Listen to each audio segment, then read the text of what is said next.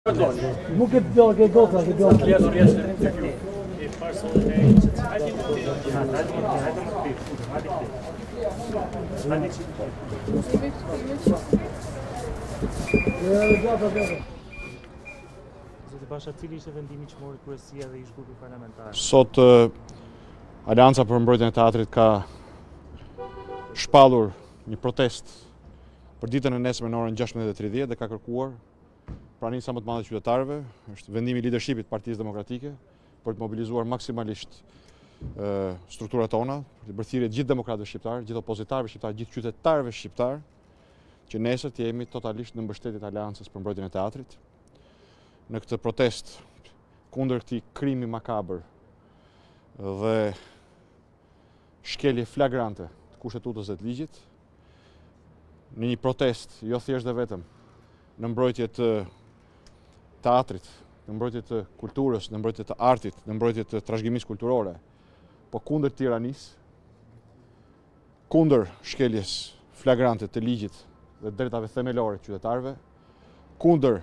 mjerimit ekonomik që janë veprat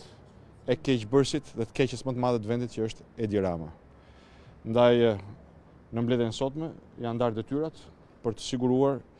pjesëmarrjen maksimale dhe për t'i bërë thirrje çdo qytetari që të angazhohet në këtë protestë nesër në orën 16:30, e cila ndonëse si shkak merr krimin makabër të prishjes së Teatrit Kombëtar, ka për detyrë dhe për synim diçka shumë më të madhe që i takon të gjithë shqiptarëve, pavarësisht bindjeve politike, që është rikthimi tek vlerat elementare të demokracisë, të shtetit të së drejtës, të garancive për jetën dhe sigurinë e qytetarëve dhe të shanseve dhe mundësive për një jetë më të mirë në vendin tonë. Të gjitha këto janë të mundura dhe do të jenë të mundura në momentin që Shqipëria t'u kthehet qytetarëve të saj duke nisur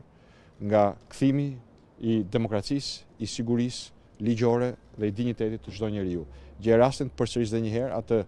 angazhim zyrtar që opozita ka ndërmarrë me firmën time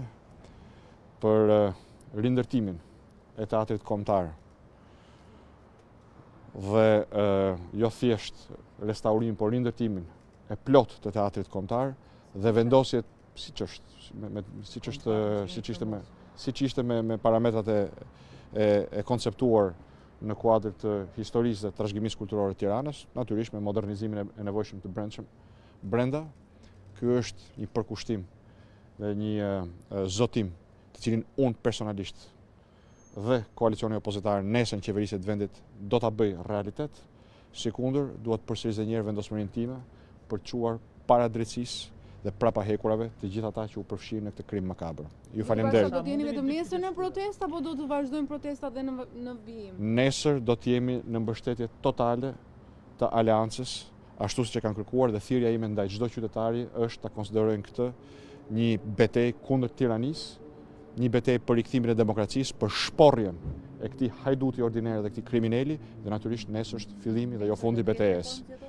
Jo nuk do të ketë, nuk do të ketë.